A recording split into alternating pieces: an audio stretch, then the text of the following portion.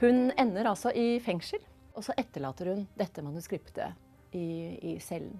Menneskene på fortauet brune, glatte og glade. De unge kvinnene på hennes alder i blomstrende kjoler og sandaler. Hun er gammel, helt alene. Hun nekter å ta på seg den skammen som mange vil påføre henne fordi hun ser barna sine lite, fordi hun, eh, hun, hun drikker for mye. Men hun prøver alt hun kan å leve det livet som samfunnet mener er et riktig liv. Men det klarer hun ikke. Venninnens barn skal konfirmeres.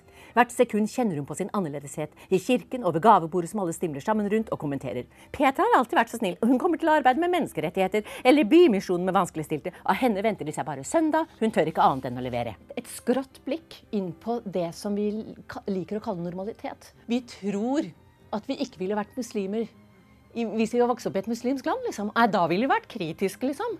Og i det vanlige livet vårt så tør vi ikke engang si noe avvikende på foreldremøte. Folk kan jo se på fulle kvinner f.eks. med en stor forakt og nytelse.